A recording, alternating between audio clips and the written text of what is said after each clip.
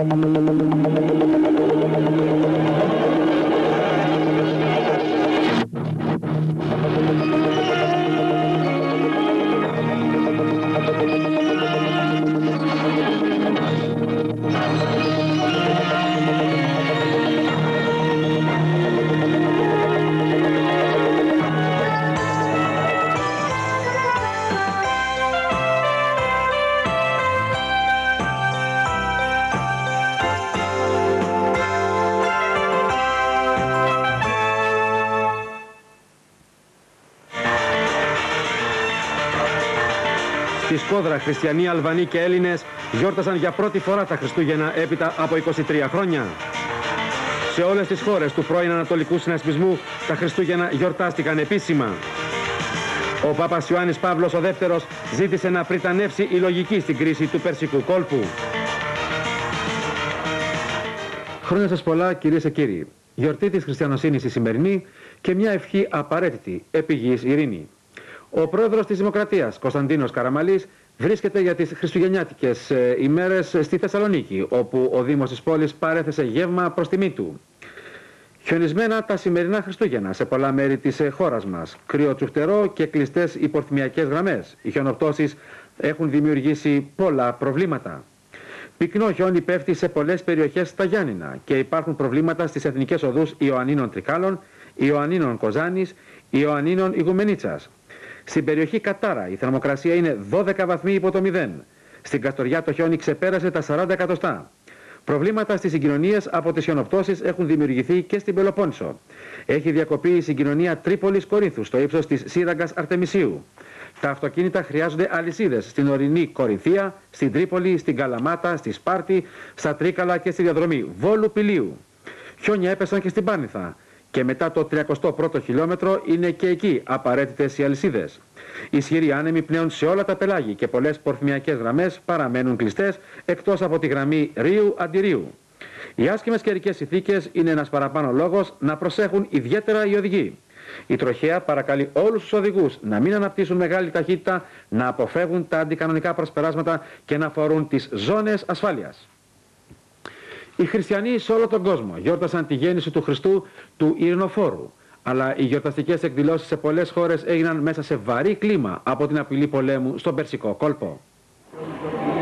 Στην Αλβανία, περισσότεροι από 10.000 χριστιανοί παραβρέθηκαν στην πρώτη χριστουγεννιάτικη θεία λειτουργία ύστερα από 23 χρόνια στη Σκόδρα. Αυτό έγινε μετά από την απόφαση του Ραμίζ Αλία τον περασμένο μήνα να άρει την απαγόρευση της θρησκείας που είχε επιβάλει ο πρώην σταλινικός ηγέτης Εμβέρ Χότζα. Ήθελε να μετατρέψει την Αλβανία στη μοναδική αθεϊστική χώρα στην Ευρώπη. Σήμερα πάντως οι κομμουνιστικές αρχές της Αλβανίας απέρριψαν αίτημα του πρώτου κόμματος της αντιπολίτευσης στη χώρα να αναβληθούν οι εκλογές που είναι προγραμματισμένες να γίνουν το Φεβρουάριο. Στη Γιουκοσλαβία και σε άλλες βαλκανικές χώρες τα Χριστούγεννα γιορτάστηκαν ελεύθερα. Στο Ζάγκρεπ, σύσσωμη ηγεσία της Κροατίας παραβρέθηκε στη Χριστουγεννιάτικη θεία λειτουργία. Η ραδιοφωνία και η τηλεόραση τη μετέδωσαν απευθείας.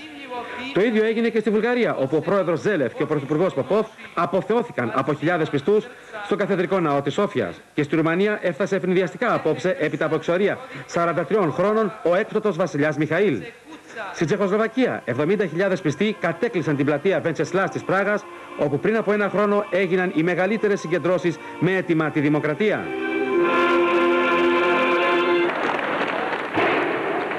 Στο Βατικανό, ο Πάπας Ιωάννης Παύλος ο δεύτερος κάλεσε τους ηγέτες όλου του κόσμου να συμβάλλουν ώστε να διαθετηθεί με ειρηνικά μέσα η κρίση στον Περσικό κόλπο. Επίσης ζήτησε να ικανοποιηθούν τα δίκαια όπως τα χαρακτήρισε αιτήματα του Παλαιστινιακού λαού.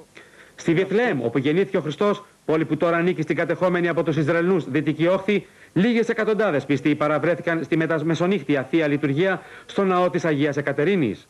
Ο Λατίνος Πατριάρχης της Ιερουσαλήμ έκανε έκκληση για αγάπη και δικαιοσύνη την παραμονή επικείμενου παγκόσμιου πολέμου, όπως είπε, και συμπλήρωσε πως πρόκειται για τα πιο θλιβερά Χριστούγεννα που μπορεί να θυμηθεί.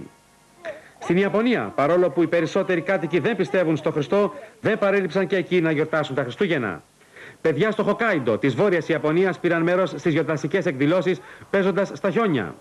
Και στο πιο ζεστό νησί, Κιούσου, στο νότο, τα παιδιά έκαναν επίδειξη καράτε για τελευταία φορά αυτόν τον χρόνο. Ρυθμίζονται οριστικά τα θέματα που αφαιρούν τη διαδικασία για το διορισμό Ελλήνων μουσουλμάνων θρησκευτικών λειτουργών στη Θράκη με πράξη νομοθετικού περιεχομένου που δημοσιεύθηκε στην εφημερίδα της κυβερνήσεως. Οι νέες ρυθμίσεις που αποβλέπουν στη διευθέτηση μακρόχρονων ε, εκκρεμωτήτων προβλέπουν τη σύμπραξη των Ελλήνων μουσουλμάνων στην ανάδειξη της θρησκευτικής τους ηγεσίας, που θα παίρνει το διορισμό της στο εξής με προεδρικό διάταγμα ύστερα από πρόταση του Υπουργού Εθνικής Παιδείας και Θρησκευμάτων. Η πράξη αυτή θα εισαχθεί για επικύρωση από τη Βουλή αμέσως μετά τις διακοπές των Χριστουγέννων και του νέου έτους. Με το ίδιο νομοθέτημα θεσπίζεται η ίδρυση ιερατικής μουσουλμανικής σχολής για την εκπαίδευση θρησκευτικών λειτουργών που θα καλύψουν θρησκευτικές ανάγκες των μουσουλμάνων της Τράκης. Με άλλο προεδρικό διάταγμα που προωθήθηκε για να το υπογράψει ο πρόεδρος της Δημοκρατίας, ρυθμίζονται οι λεπτομέρειες που αφορούν την ανάδειξη μελών των διαχειριστικών επιτροπών στα βακούφια της μουσουλμανικής μειονότητας στη Θράκη. Με το σχετικό διάταγμα προβλέπεται η ανάδειξη πενταμελών διαχειριστικών επιτροπών με τριετή θητεία για κάθε βακούφιο η ομάδα βακουφίων, στην οποία θα διεξάγεται καθολική ψηφοφορία των Ελλήνων μουσουλμάνων της Θράκης. Έτσι, εξασφαλίζεται η ακόλυτη λαϊκή συμμετοχή στον τρόπο διαχείρισης της θρησκευτικής μουσουλμανικής περιουσίας, σύμφωνα με δημοκρατικά πρότυπα που λειτουργούν στα πλαίσια της Ευρωπαϊκής Ένωμης Τάξης. Στο Ισραήλ, Εφημερίδες με πηχιαίους πρωτοσέλιδους τίτλους γράφουν ότι οι ένοπλες δυνάμεις της χώρας βρίσκονται στον υψηλότερο βαθμό ετοιμότητας από ποτέ άλλοτε για να αποκρούσουν ενδεχόμενη Ιρακινή επίθεση. Σύμφωνα με δημοσιεύματα στις ίδιες εφημερίδες, μεταφέρθηκαν στο Ανατολικό μέτωπο πρόσθετες στρατιωτικές δυνάμεις. Στην έρημο της Σαουδικής Αραβίας, οι Αμερικανοί στρατιώτες γιόρτασαν με διακριτικότητα τα Χριστούγεννα και στο Camp David του Maryland. Συνεργάτες του Αμερικανού Πρόεδρου George Bush τον ενημέρωσαν ότι οι Αμερικανικές μάχημες μονάδες στον Περσικό κόλπο δεν θα είναι έτοιμες για πόλεμο εναντίον του Ιράκ στις 15 Ιανουαρίου. Στη Βαγδάτη, οι ελεγχόμενες από το καθεστώς εφημερίδες γράφουν ότι σε περίπτωση πολέμου οι Αμερικανικές δυνάμεις είναι καταδικασμένες να συντριβούν. Αντίθετα, ο πρόεδρος Μπούς δήλωσε ότι βασικός στόχος του παραμένει πάντα να τερματιστεί η κρίση στον Περσικό κόλπο χωρίς να πέσει έστω και ένας πυροβολισμός. Ο πρόεδρος του Ιράκ, Σαντάμ Χουσέιν, ανακάλεσε για διαβουλεύσεις στη Βαγδάτη τους Ιρακινούς πρεσβευτές από την Ουάσιγκτον, τα Ηνωμένα Έθνη, τη Μόσχα, το Λονδίνο, τη Βιέννη και το Παρίσι. Στην έρημο της Σαουδικής Αραβίας σταθμεύουν αυτή τη στιγμή 430.000 Αμερικανοί στρατιώτες. Άλλοι τόσοι Ιρακινοί βρίσκονται από την άλλη μεριά του μετόπου, στο Κουβέιτ και στο νότιο Ιράκ. Φόβοι για τρομοκρατικές επιθέσεις στη διάρκεια των γιορτών ανάγκασαν τους Αμερικανούς διοικητές στον Περσικό κόλπο να διατάξουν επιπλέον μέτρα ασφαλείας. Στη Σοβιετική Ένωση το τέταρτο συνέδριο των λαϊκών αντιπροσώπων έδωσε πολλά χριστουγεννιάτικα δώρα στον πρόεδρο Μιχαήλ Γκορμπατσόφ. Ήταν καιρός άλλωστε, ύστερα από τόσες στεναχώριες που έχει περάσει τον τελευταίο καιρό.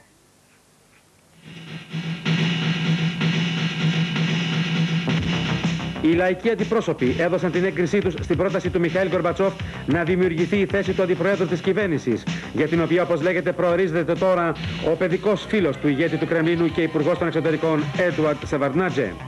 Οι λαϊκοί αντιπρόσωποι συμφώνησαν επίσης η κυβέρνηση να υπάγεται απευθείας στον πρόεδρο της χώρας. Παρόλη την επιτυχία του Μιχαήλ Γκορμπατσόφ, αρκετοί ριζοσπάστες επέκριναν τις αποφάσεις των λαϊκών αντιπροσώπων. Ο πρόεδρος της Ρωσικής Ομοσπονδίας, Μπαρί Γέλτσιν, δήλωσε ότι ο κύριος Γκορμπατσόφ έχει ήδη περιβληθεί με πολλές εξουσίες και ότι θα είναι πολύ επικίνδυνο να του δώσουν και άλλες. Είπε επίσης ότι η δημοκρατία του θα διταχθεί στεναρά αν στον κύριο Γκορμπατσόφ δοθούν πρόσθετες προεδρικές εξουσίες. Τελικά οι λαϊκοί αντιπρόσωποι σε αυτό το ζήτημα άκουσαν τον Μπαρί Γέλτσιν.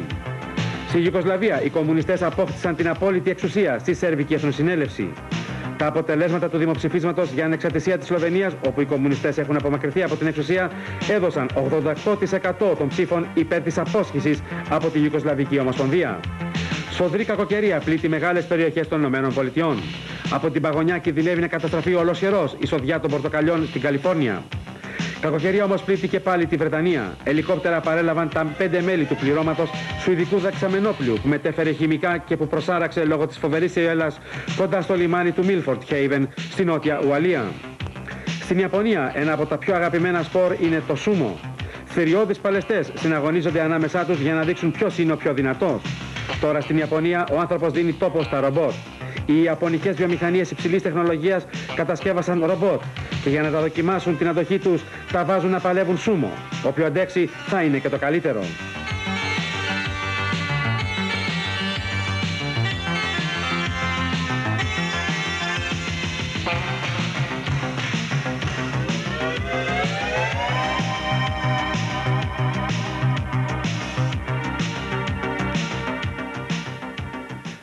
Για τον αυριανό καιρό ακούμε τώρα το Γιώργο Μελανίτη.